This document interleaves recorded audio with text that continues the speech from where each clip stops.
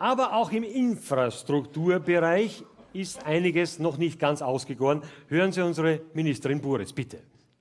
Es gibt drei Faktoren, die ganz entscheidend sind äh, für die Zukunft und die Wettbewerbsfähigkeit eines Landes. Und das ist Bildung und Infrastruktur. Wir haben in diesen Bildbericht einen kleinen Fehler eingebaut, meine Damen und Herren. Vielleicht kommen Sie drauf. Nochmal aufpassen.